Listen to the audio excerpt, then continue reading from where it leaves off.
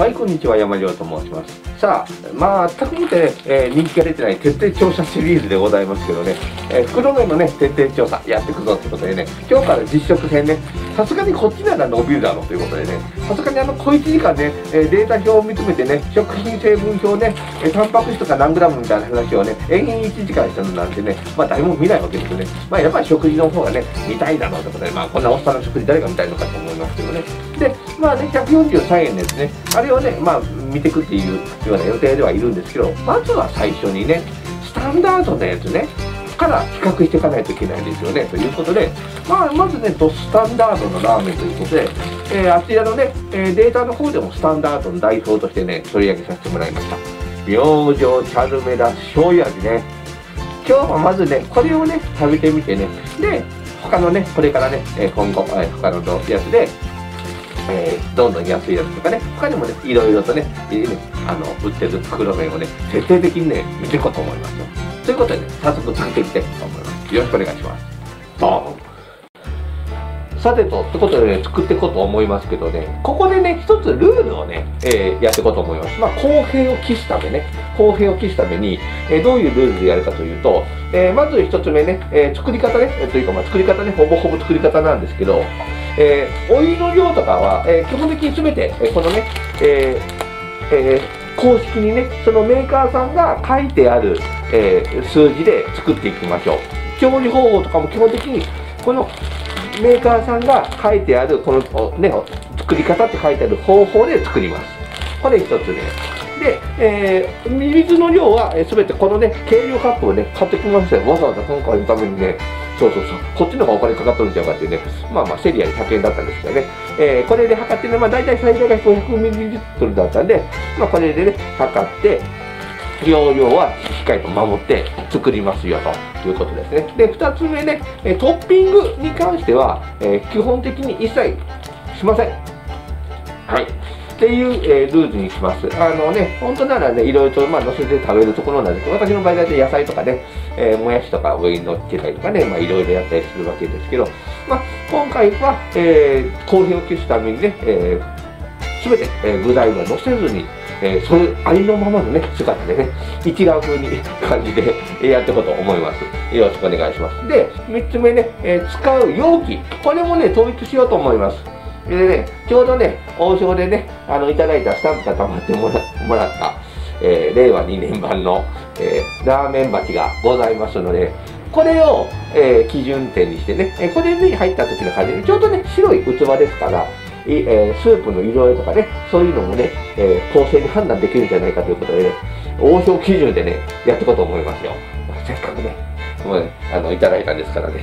最近なかなか王将食べに行けてませんけどね、まあまあ、ニンニク餃子の方もね、60再生ぐらい入ってますからね、うちにしては上出来ですから。こんな感じでね、やっていこうと思います。で、キッチンはね、もうモザイクかけた方がいいレベルのやつですけどね、まあ、あんまり、えー、そのあたりはね、なんならあの、ラジオだと思ってね、えー、耳で楽しんでいただければいい、なんか画像をつけるなような話なんですけどね。ということでね、早速、えー、今回はね、明星チャルメラね、作ってみようと思いますよ。さあ、まずはね、えー、水を入れていこうと思いますよ。チャルメラさんは、えーと、500ml ですね。よいしょ。ちゃんとへ、ね、平行なところに置いてね、確認して、水平なところに置いてね、まあね、ここ自体が傾いとったらどうするんやってことなんですけど、よいしょ。ちょうど 500ml ね、よいしょ。ということでね、ちょうど 500ml。ちょっと水平じゃないからあれですけどね、今ちゃんと水平なところに置いてメモりましたからね、これを入れて、よいしょ。早速、おかけの味、こいよ。よいしょ。まあ、このままどんどん作っていきますよね。で、えーと、改めておさらいをしておきましょうね、今のうちに。キャヌメラさんは、まずお湯を沸騰させまして、で、麺を入れて軽くほぐす。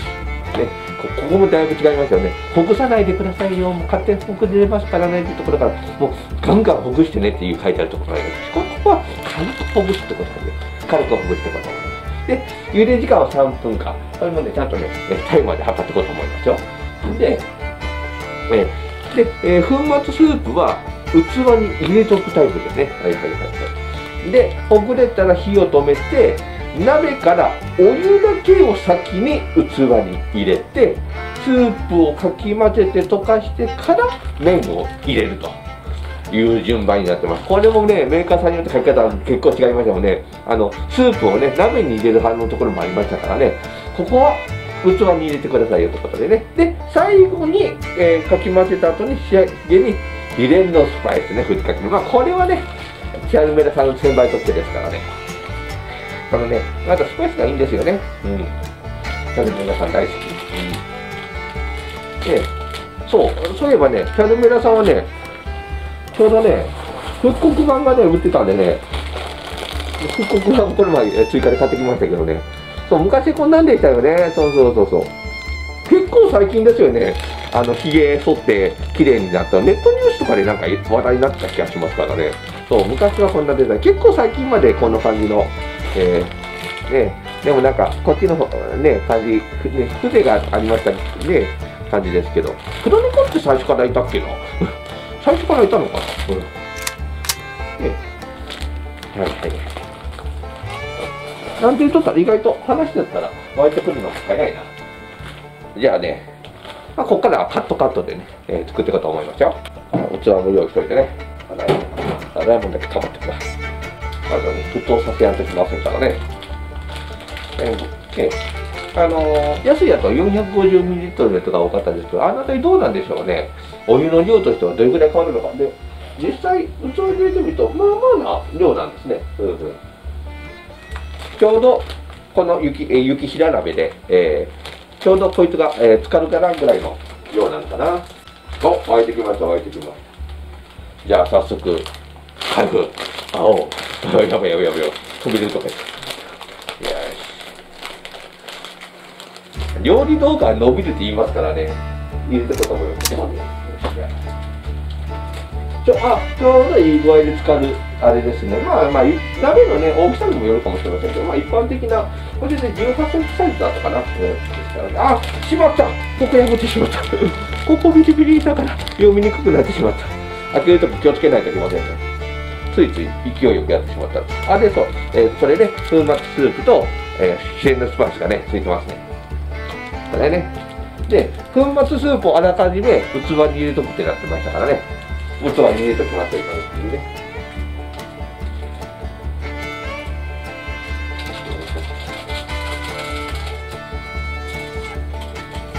で、秘伝のスパイスはこのまま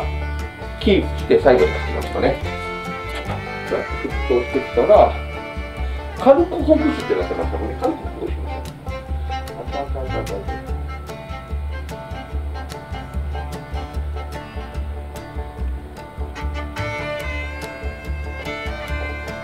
あちなみに料理するときは右手で持ちます 単にオペレーションがしやすいからね 別に左で持ってもいいんですけどねそうすると右手がこっちでこっちで物取ったりとかできませんから、うん、っていうところもねキッチンとかってねやっぱしね右利き用に作ってあるんですよ、ね、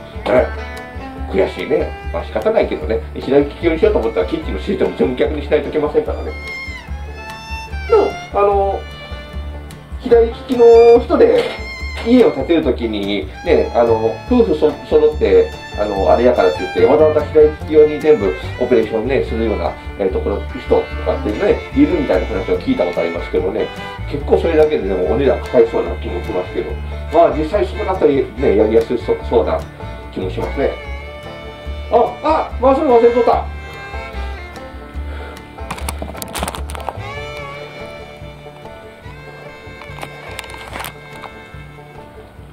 こいつのタイマーでね、えっ、ー、とね、そろそろだと思うな。よ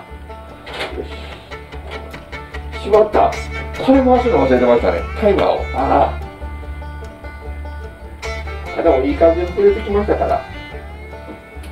いしょ。ただね、あの、私、あの、昔からよく言われるのが、あの、せっかちなんでね、こういうのね、あの、すごく早く出すんですよね。カップヌードルとかもね、1分ぐらいでね、そのままね、食べ始めますからね。えー、そうそうそうそう。いや、でもね、今回いい感じだと思います。話しとったんでね、うん、だいぶ麺もほぐれてます。で、ほぐれた麺ね、これ、ちゃんとね、ほぐれてますから、これを、先にスープを溶かすんですかねさあ入れてで先にスープを溶かしなさいよってなっとったんで溶かしましょう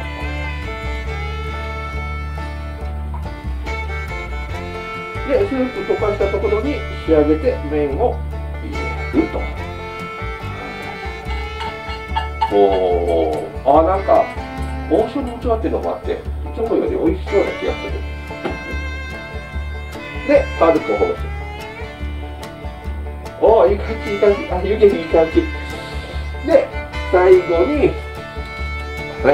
秘伝のスパイス入れておきますよねよいしょおおおおおいい感じいい感じいい感じ。よし。よしでまあレンゲを添えて。さあということでこれで明星チャルメラ完成です。早速実食いってみましょう。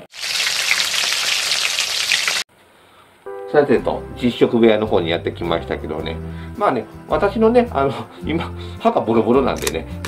あのそんなボロボロのね歯のかけまくった、えー、37歳のおっさんの顔なんて見たくないでしょうから、えー、ラーメンだけ移してね、えー、早速ね実食の方ねやっていこうと思いますよ、まあ、たまにあのちょっとお見苦しい顔があの入っちゃうかもしれませんけどそのあたりはねあのご了承くださいあの顔にモザイクかけとるかもしれませんけどあの単にあのあれですからねよいしょよいしょ。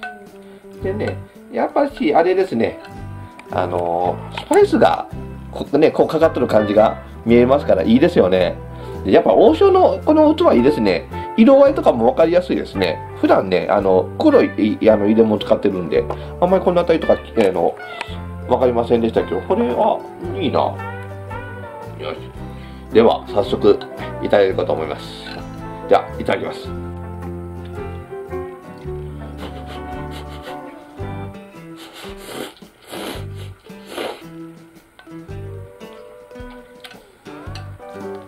あうまいそうそうそうやっぱし王道ですよねああ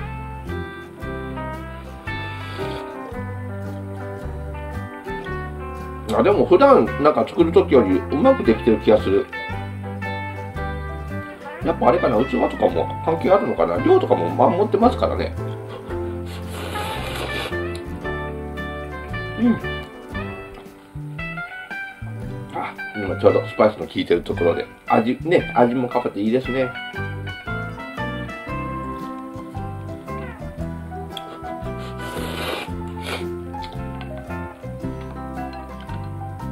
久しぶりにでも本当にプレーンで食べたらそのチャルメラはねよく食べるんですけど大体何かしら野菜か何かのせますんでね。本当にこの酢のあの袋麺っていうのは久しぶりに食べたな。この前もね、あの、50円のね、あのキャベツ、1玉50円のキャベツとかね、売っとったの。それで買ってね、それを、ムキムキして、えー、軽く炒めてのせたりとかね。あとはあの、この前あの動画でね、えー、撮りました。昨日、えー、撮影したやつなんですけど、あの、白菜ね、買ってきたっていうね、やつがありましたから、白菜がね、1玉100円だったんでね、あの、街ぶらロケしとったらね、あれをね、あの、具材に入れて一緒に煮込んだりとかね、えして、まあ、先に入れといてね、煮込んどいて、えー、ちょうど野菜がくたってきたところで麺を入れてみたいにしてね、やるとね、味噌煮込みうどんとかでやるとまたそれでね、味がしんしんだりしてね、美味しく、美味しくいただけるんですよ。うん。あ、ちょっと胡椒なんかも足しながらね。はい、しよしよし。お入れすぎた。なかなか加減が難しい。まあでも、うんうん。やっぱ胡椒とも合いますね。まあ、あの、木の実スパイス自体がちょっと胡椒も入ってるのかな？